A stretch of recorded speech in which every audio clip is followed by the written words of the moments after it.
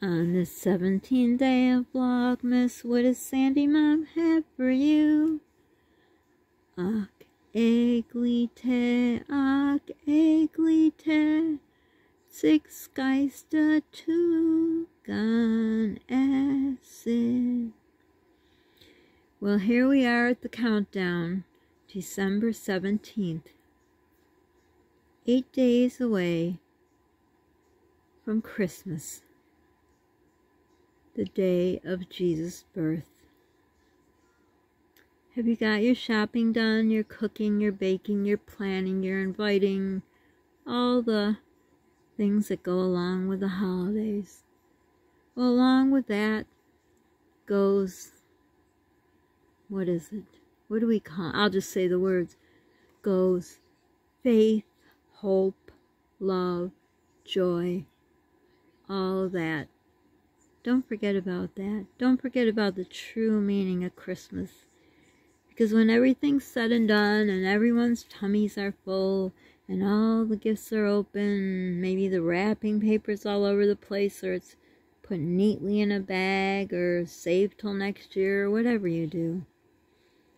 When it's all done, think about all the running and everything you did. Was it worth the stress? Just see so many people all stressed out in this world, and it's really sad. But I guess it's the way of the world. And during these hard times, all the things that we have to live through, and I don't know where, where you live, it's the same where we are. It just seems like every day something bad happens. You don't hear about anything good anymore. It's the way the world is. But don't forget those important things. When you sit down at that dinner? Is it Christmas Eve, Christmas Day, whatever it is? Don't forget those of your family that aren't there. The empty chair, or, my case, many empty chairs. Think of those people. Not even death can take your memories away. I'm sure we've all lost people in our lives, and all we have are the memories, so keep them alive. Remember them that day. Remember they're still in your heart.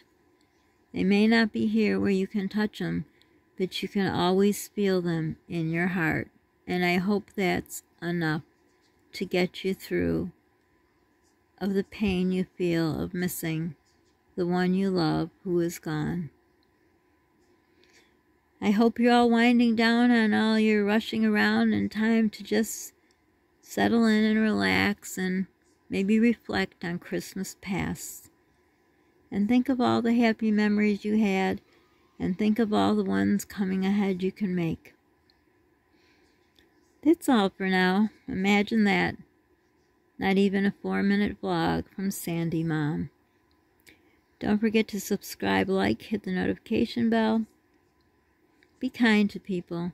Don't forget to share. Sharing is caring. Don't forget to pay it forward. It feels good in your heart, Polly's heart, and my heart. I wish all of you peace in these coming days before Christmas. Bye for now.